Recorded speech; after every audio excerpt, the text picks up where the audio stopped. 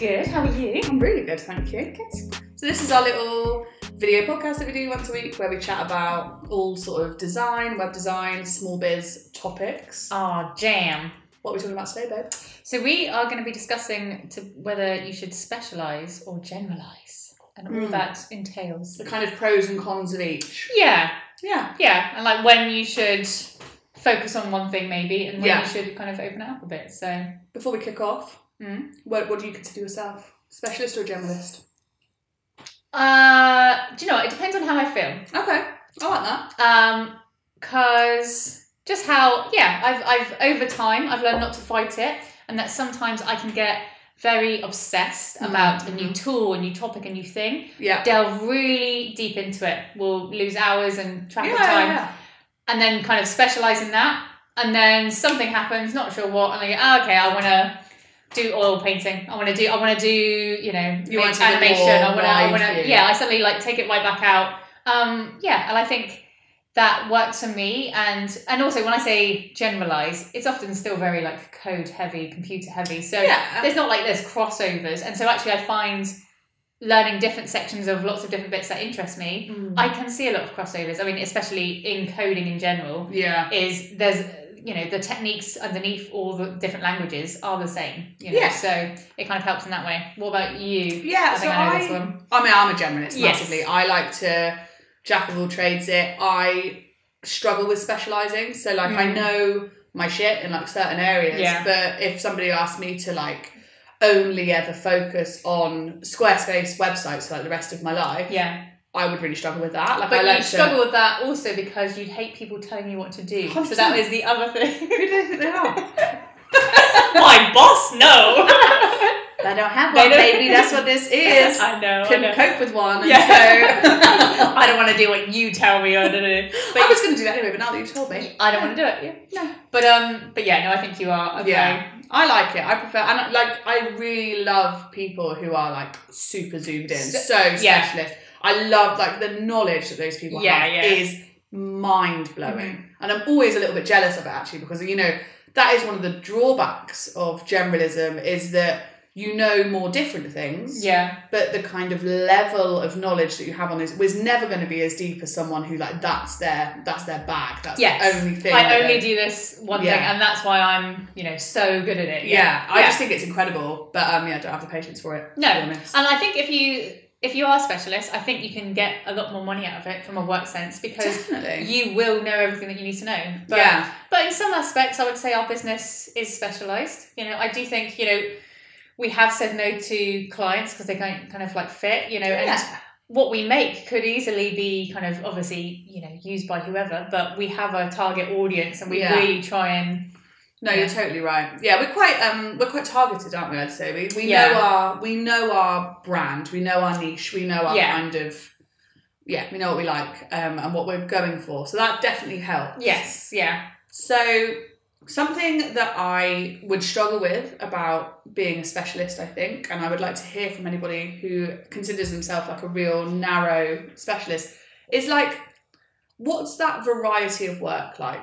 I think Mm. that when you are a bit more of a generalist, so I would say that you and I are like web design generalists. We Yeah. have our area, but like we'll dabble, we'll dip a toe Yeah. in all kinds of different things. Like we're not strict about the work that we do.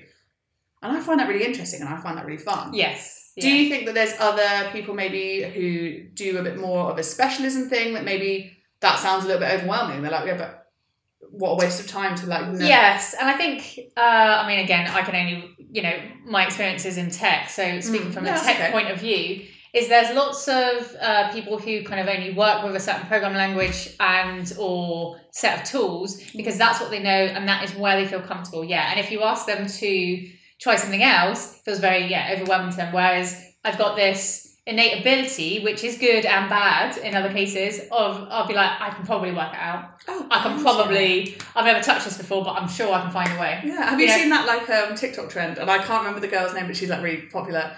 But she's like, I have that gene where it's like, how hard could it be? Yes, yes, and that's exactly. how, and then yeah, I'm like, like, halfway through stuff, and I'm like, oh, really oh, hard. really actually. hard. But I have agreed to do this in the time limit, so I'm gonna just try and power. up. One hundred percent. No, Yeah. I massively, massively get that. I feel like that as well. Um, I think another what I love about being a sort of generalist, really, like one of the big things is the wide variety of people that you get to work with. Yes. You yeah. don't get that as much. I wouldn't like you know if you're so you, I'll take it back to tech because I think that Yeah. that's what you know. That's what I kind of know. But if you did like a very specific programming language in a specific kind of way, Yeah. you're only ever going to deal with like the one type of client or customer or like yeah, definitely. stakeholder that needs that stuff. Yeah, but in the next breath, you know, you're probably then more likely to do the talks and be mm-hmm. revered, and and and it's easier to sell yourself as that person. You know, even I know people in like the tech world. They do SVG animations. Yeah. They are well known for this. They are. It, it is definitely easier to market yourself as a like a one line. I am a specialist, or you know, yeah, this is the thing that I yeah, do. yeah, yeah, exactly. So I think that is easier rather than go. I just create things online. Yeah, Which I hear I do. Well, I mean, Yeah. we, I mean, copywriting for our website though is always a nightmare because it's like yeah. you know we It's we know like what we do, but we're trying to sort of put it into a few words. Where you're like, I create colourful animated Yeah. websites Yeah. for.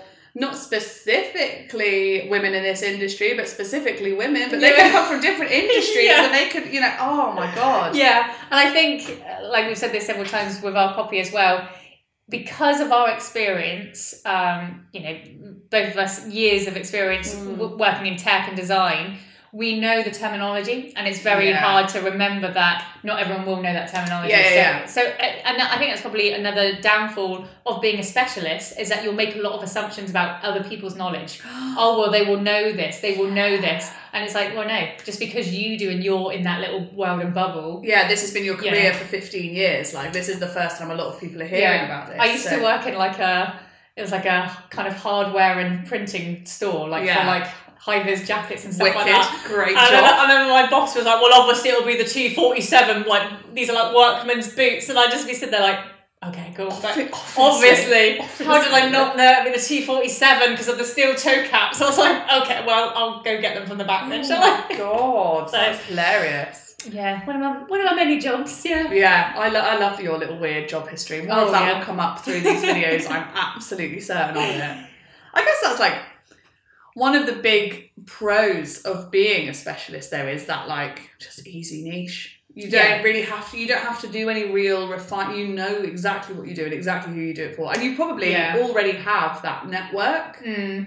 But again, I guess it depends on what you're specialising in. If it's Mm. a if it's a programming language, it's probably fine, but there's still but if it's like a tool, you are like say if you specialised in um what was that old social platform that went down? Uh MySpace. yeah, it could be they're still around.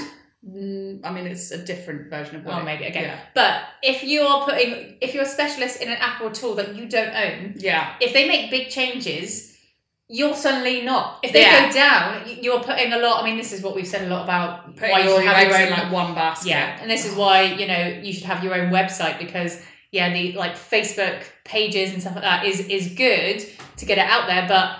If they go down, if their servers are down, if they change all their rules, and you Mm. you lose those customers. Yeah, I mean, it doesn't belong that. to you. No, you yeah, don't have you any don't have access to that information. Yeah. I'll never forget, and this was um, when I was freelancing before under a different name, like before me and you had, had got together to do Lucky Night. It was never a before me. It was never How a before dare time. you talk about the before me? we were still friends. we were still.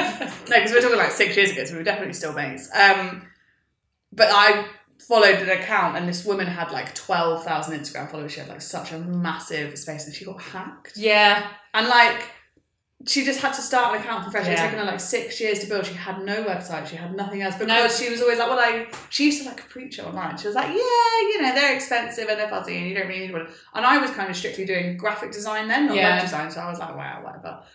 But yeah, yeah, and then you lose it all. Yeah, and and you've got you've got nothing. She can't send out an email to say, "Oh, No. hi, I've been hacked. Don't No. follow it. Don't." She just has to try and like link- remember enough people that she could. And, and try and get through to them and be like, I promise you, I am the yeah. That's what I mean. You're It putting a lot into uh, another company and another company's rules and and who knows when they could get cancelled because of anything, isn't it? God, yeah. I think um, I think that covers everything. I I still think, for me, because of my attention span Yeah. and my we, me- you and I are quite similar. We like to learn different things. We like to kind of try new stuff out. I totally get that if you, I'm not that kind of person, and actually you really like to be able to just know something inside out, back Yeah. to front. Totally understand why you'd want to be a specialist, but for Yeah. me, generalism all the way. Yeah, no, for, for, for me and for the stuff we do, and Mm. and it helps us keep current ish. Current. Oh, current. We try. There's a lot of new stuff, isn't there? So it's very hard to, Oh god, yeah. I mean, current. yeah. especially with like trends, I guess, in design world as well, isn't it? It's, I ignore them. yeah, that could be a podcast yeah. for another day, but um, yeah, I think if you're basing your entire design industry or like design industry, like your design practice on trends and fashionable stuff, Yeah, you're just asking for You're trouble. have yeah. You're asking for trouble. you can have a bad time. right. Well, I love you very much. Cheers, babe. Bye. That was fun.